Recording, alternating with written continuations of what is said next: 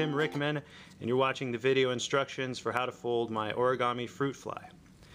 This model is based on a 32 by 32 grid, so if you're folding along you'll need that now. For this demonstration I'll be using a piece of 8.5 square 20 pound printer paper, but if you're using two-sided paper you'll want to start so that the paper is positioned with the color you want the wings to be face down, and these outside creases should be mountain folds.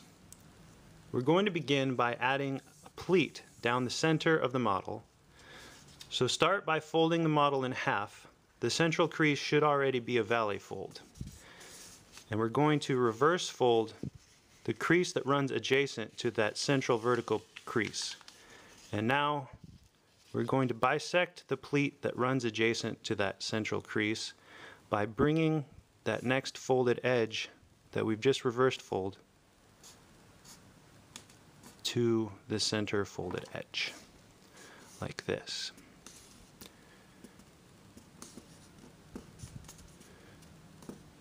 Carefully aligning the folded edges. Okay, unfold. We've got the right side. Now we want to repeat that on the left. Fold the model in half, reverse fold the crease that's adjacent to the central crease, and bisect the pleat that runs adjacent to the central crease by bringing those new folded edges and matching them to one another like so.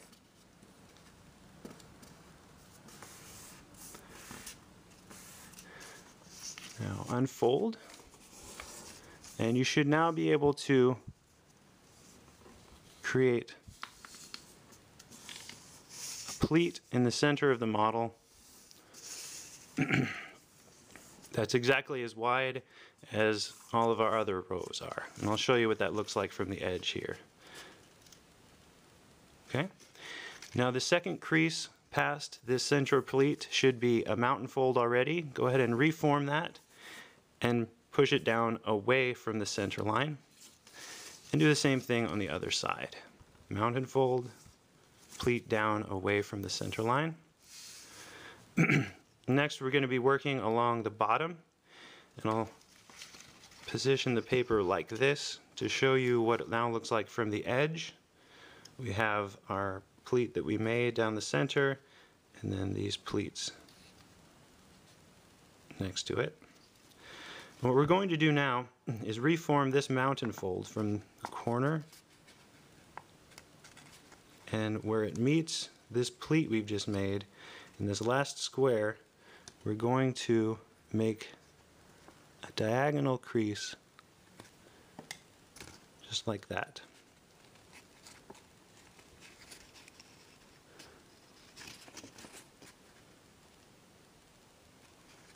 And repeat that on the opposite side.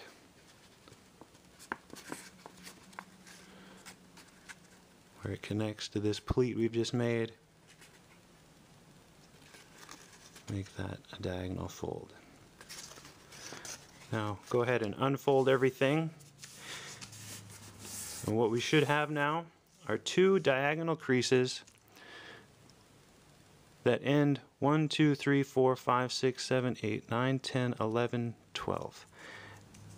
That terminates at where the 12th vertical crease meets the bottom raw edge of the paper and it moves up and away from center. Same thing on the opposite side. 12 vertical creases over where that hits the bottom raw edge. Now we're going to use that reference point to create a reference line that travels up 3 over 1, up 3 over 1, up 3 over 1. You can draw this line, you can make a crease, or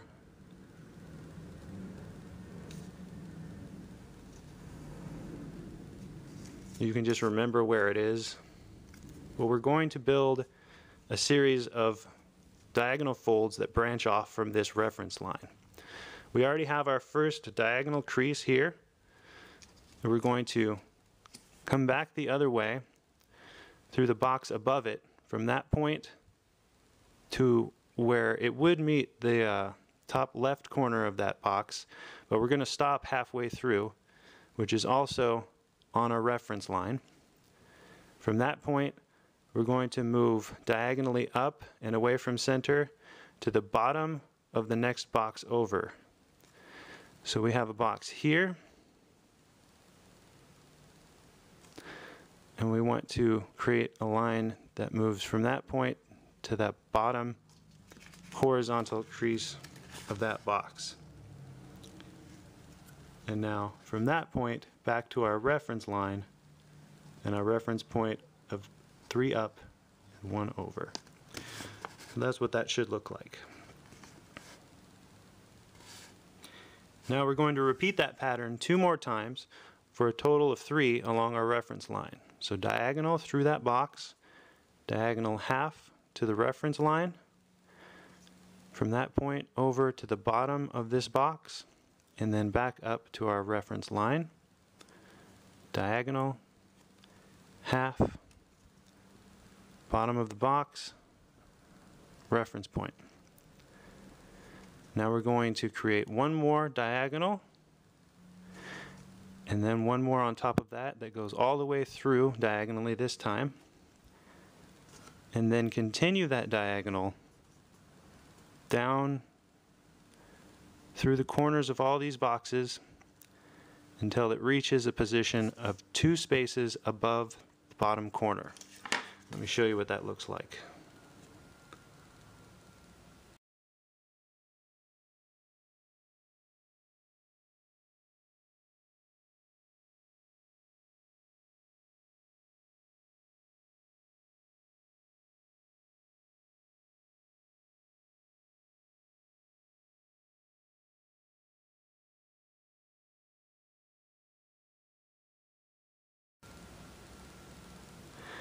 Okay, now we're going to fold those. We already have our first diagonal, and you're just going to pinch those creases. Where you have this diagonal and this half diagonal, you don't have to fold the reference line. You can if you want to, but you do need to fold it between the diagonals of the next space. And when you're forming these creases, you're just making tiny pinches in the paper.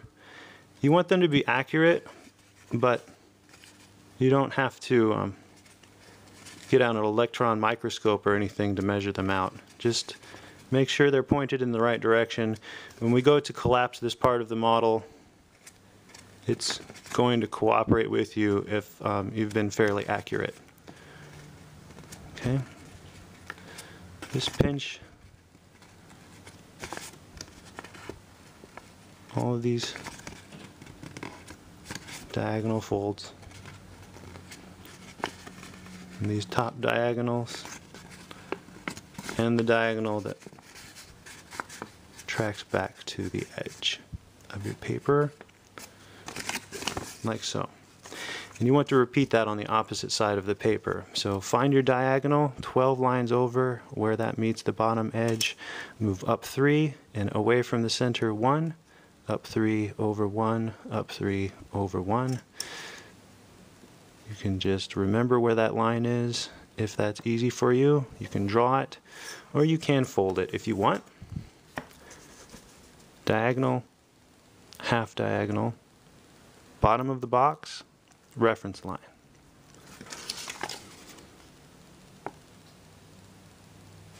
Continuing on, diagonal, half, bottom of the box, reference line, diagonal, half, bottom of the box, reference line. And now one diagonal through that box, diagonal through that box, extending all the way to the edge of the paper to a position of two spaces above the bottom point corner. And to show you again what it looks like to crease these, should give credit where it's due. I borrowed this technique of collapsing an insect abdomen from Robert Lang's model Cicada Nymph. It shows up in other insect designs, Goliath beetle for instance. It's a very clever way to create a segmented abdomen.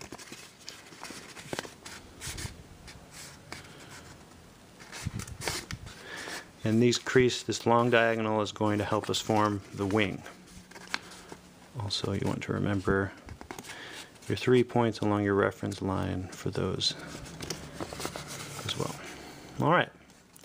Now we're going to bisect some of these pleats, but just in between the lines that we've just folded. We're going to bisect the second pleat, leaving the first one untouched. So through the center of the second, the third, leave the fourth, go through the fifth, the sixth, leave the seventh, go through the eighth, and the ninth. And we'll bisect those similarly to how we created our pleat down the center of the model. You just make mountain folds on either side of it and bring those folded edges together only in between the creases that we've already made. Okay, so that's the second pleat bisected in half. Now the third.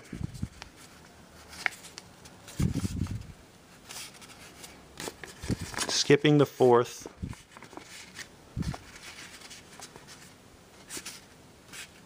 Fold in half the fifth pleat.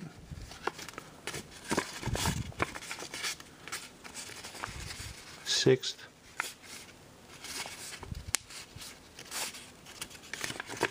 Skip the seventh.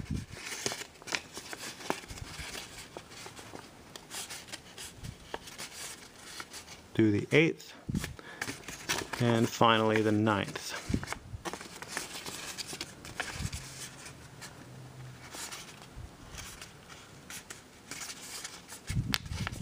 It also helps to reverse fold the pleats, the bisection of the pleats you've just made,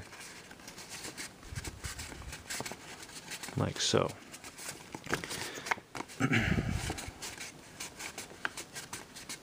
This type of a model is something I call open sequence.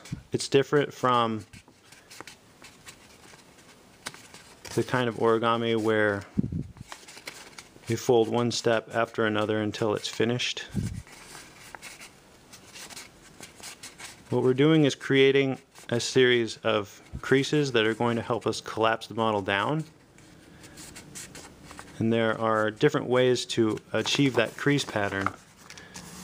Um, so it's not step by step. Okay, we have all our creases for the abdomen. Before we collapse that down though, we're going to create some of the creases for the legs. That'll make it easier for us later. We need to find the halfway point between the side corners. And an easy way to do that is just to fold the model in half like this. Okay. Now we have the halfway point and we're going to create a diagonal crease here. Two, three, four, five. And then turn back this way and go three. One, two, three. Turn again, go three. One, two, three, turn back the other way, go three, one, two, three, down again three, one, two, three, and back down to the edge of the paper through five. One, two, three, four, five. Let me show you what that looks like in pencil. So we've gone from our halfway point between our corners through five, back up three, three, three, three, and then five. And it looks something like a squished heart or something. I don't know. Okay, next you want to find the top corner and move two spaces down and make a diagonal that travels through one, two, three, four, five. Okay. Now move from the top corner over 10. 1, 2, 3, 4, 5, 6, 7, 8, 9, 10. Two, three, four, five, six. So this diagonal should touch this diagonal uh, one before, there should be one segment left over there. And now we're going to, from our position of 10 over from the top corner, again, down, one, two, three, four, five, and six to the central crease. And you're going to repeat all those on the opposite side. So find your central crease along the edge. Should be one, two, three, four, five. Back up three, one, two, three. Down three, one, two, three. One, two, three. Back down three, one, two, three, and back to the edge through five. One, two, three, four, and five. So again, we have that same shape on the opposite side. Move two down from the top corner and make a diagonal that goes through five spaces. One, two, three, four, five. 10 across from the top corner. 1, 2, 3, 4, 5, 6, 7, 8, 9, 10. Should be on a, mount, a valley folded pleat crease there. 1, 2, 3, 4, 5, 6. Something's wrong. 1, 2, 3, 4, 5, 6, 7, 8, 9, 10. 1, 2, 3, 4, 1, 2, 10. I done wrong. No, no, no, that's correct. 1, 2, 3, 4. Okay. Now, from that space 10 over, 1, 2, 3, 4, 5, 6 to the center of the model. All right. This is what it all looks like now.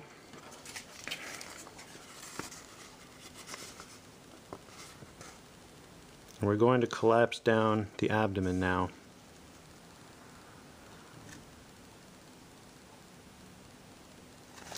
So, we first need to reform our pleats that we made at the beginning. Two away should be a mountain fold. Press away from the center line. And you want to hold your paper like this reform that mountain fold here. And what we're going to be doing is using these lines we've made. You see how there's an apex to this where these two diagonals come together that's off center a little bit. We're going to form a point that will push up into one of the pleats along the bisections we've made, like this. And you're fan folding these pleats here, mountain, valley, mountain, valley. So you get one corner started, and then you start over on the other side, mountain fold, reform that first diagonal we made, start to form this point which you can then pinch this pleat and now you can lay it down across the top. So this is what it looks like now. We continue on with that. You're going to fold your pleats down the top here like this. And your next one is a diagonal fold. Push up into that corner and back the other way. Push up into the corner once you have that started, you can gently pull that pleat down and rest it across the top like that. Now it looks like this. Okay, and continue on. This is tricky, but once you get the hang of it,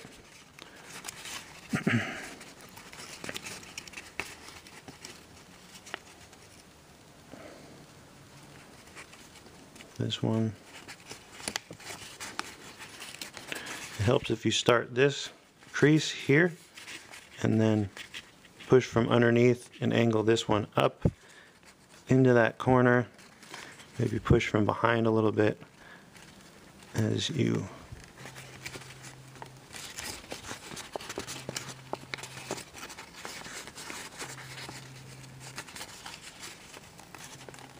angle that pleat like that. And the other side,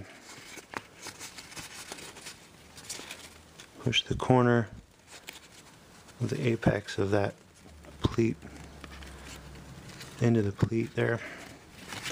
And once you have both, you can push them down.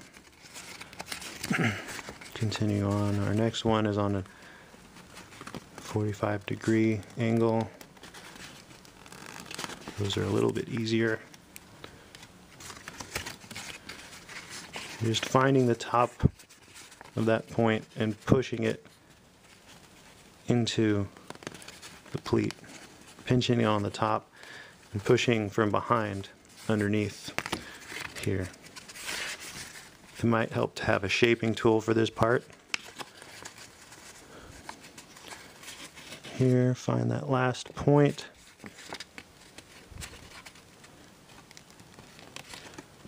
Push into that, the underneath of that pleat.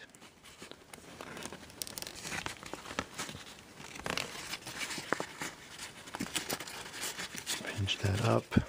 And we only have one more 45 degree angle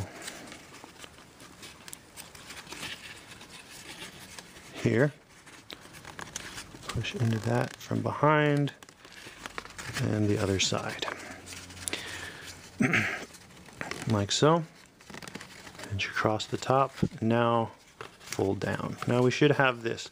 One, two, three, four, five, six, seven sort of pleats along the back there, and it looks like this from the side. From the other side. All right, you should be able to lie it down like this. Now what we're going to do is fold through this diagonal, long diagonal for the wing. So this first pleat just gets folded down like this, and then we start with a mountain fold the bottom of that diagonal, and then box pleat this fan folding these longer pleats along the edge here as we go. So we're just creating a flap that will later become the wing.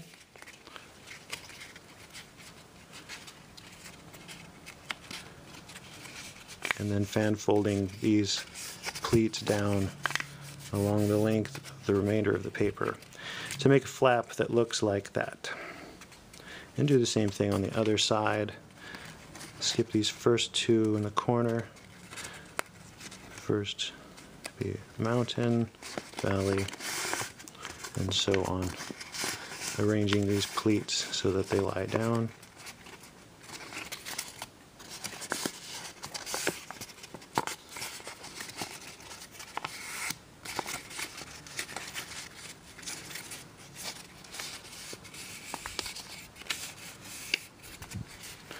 All right. Until it all like this now. All right, next we're going to create two diagonal creases here and here through these boxes here by taking holding the paper or these layers here and pushing them over diagonally so that these edges match up along those back folded edge. Press that down like that. And again on the other side, find the center of all these pleats. Fold down through all these layers, creating a diagonal like so. Okay. Now we're going to reverse fold, gathering up all the creases behind them, like so. And then reverse folding that diagonal, pressing down as well on the other side. Gather up the pleats behind it and fold down through that diagonal through all those layers. And then that next horizontal crease you want to be a mountain fold going across. Now we're going to make two more diagonals here, one there, and then one on the opposite side. So continue to press that down, making a diagonal through that box there. Okay, and on the other side, like so. Now we have sort of this larger rounded off pleat coming off the back.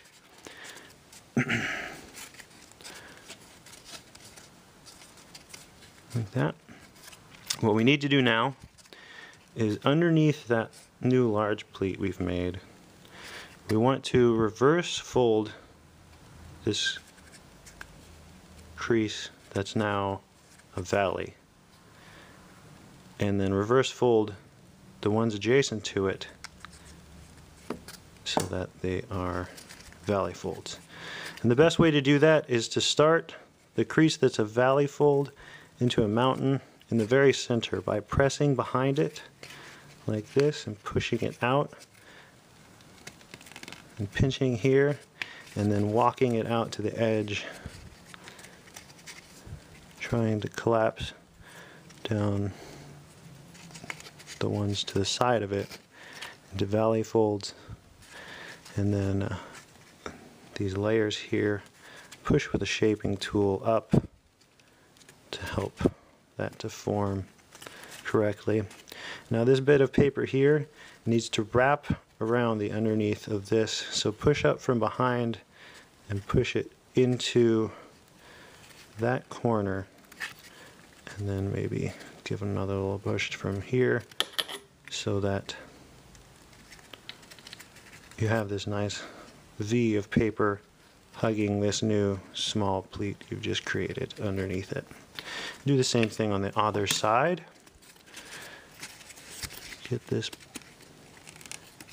going in the direction of a mountain fold. Find these pleats on the edge and push up to train them to a mountain.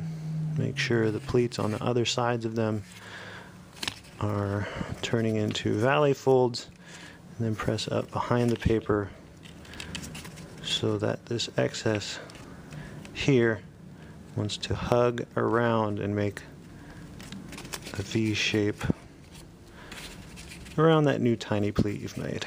And you just want it to be tidy and not too messy. It doesn't have to be perfect. It's not aesthetically, you will never see that little V of paper I'm talking about. It just needs to be able to lie flat. All right, now the reason we've done that is because we needed to get that bit of paper out of the way. What we're going to do now is take this longer flap and you see this diagonal here. Should be a valley fold in this corner. We're going to hold the paper here and hold this flap here and fold this flap down along that diagonal, creating a mirror image of that diagonal underneath here. So it just folds these layers down so that they're now parallel along the side.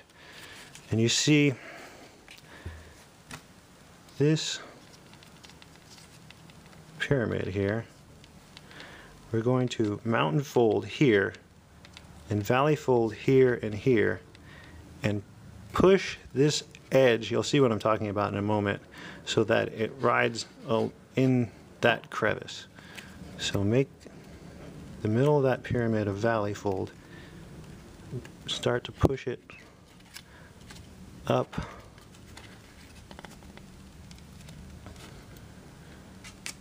into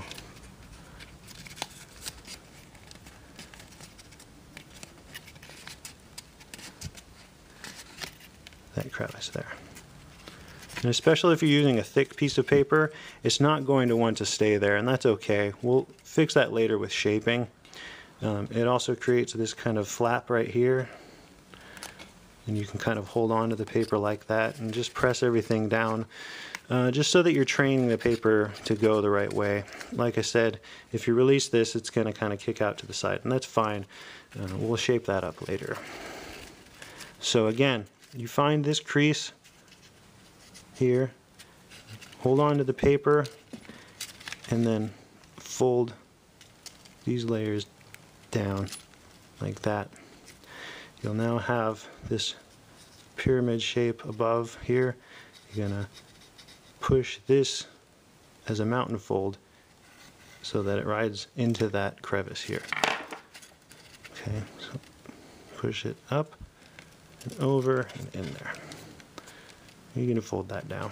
If uh, your paper bunches up like it is here, you'll just need to kind of convince it that it needs to be going that direction, like so. Okay. Okay, now as you can tell, those are going to be the wings later. We'll shape those later. They can remain like these flaps for now. All right, next what we're going to work on, oh, let's see, is the rest of the abdomen. I mean, uh, the thorax rather. And the way we need to do that is to open up a bit of the model we've already made. And we're going to start looking at these creases that we've pre-folded here. So just slightly open up the model here. Um, this is all going to go back together a lot more easily now that uh, we've pre-folded it. What we're going to do is find the bottom of this diagonal, make a mountain fold, valley fold, and box, start to box pleat this.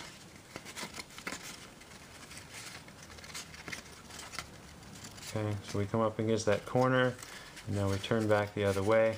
You want this top here to be positioned so that it has three pleats, three folded edges on top of each other, and then the top of our pre-folded crease that diagonals kind of poking in the corner up there. And you want to, as you formed the abdomen, you also you want to pinch at the top, push in from behind, and push that corner into that, making this uh, a mountain fold on the top here. And you can continue some of these um, diagonal folds on just to kind of help you uh, help you out there. This is going to be fold it over. It doesn't really matter. You don't have to go too far down. You just turn the model over and repeat that on the other side.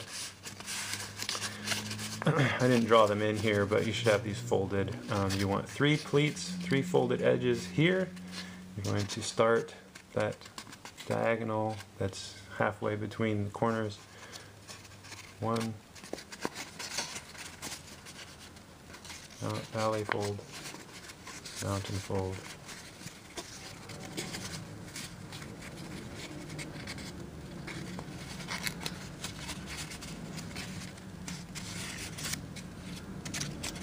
Okay. Okay. All we really need right now is for the model to look like this kind of thing. Okay. And what we're going to do is we're going to sink the corners of this flap. So tuck the corner, find the center of all these pleats, open it up a little bit here, and then push this down, those three layers of paper along that diagonal on either side. And just push those pleats into there so that the thorax is rounded off on the top and the bottom. See? Like this. and the other the other side as well. Go in between this, push this paper down into that. Okay, there we are. All right, so uh, in the next segment, I'm going to be working on the eyes. Um, so you'll need to actually unfold everything that we've done so far. It's going to come back together a lot easier now that we have everything trained the way it's supposed to go, but carefully undo all of this. carefully pull apart those pleats and flatten out the model. And then in the next section, we're going to be working on the eyes, which will be in this area here. Okay.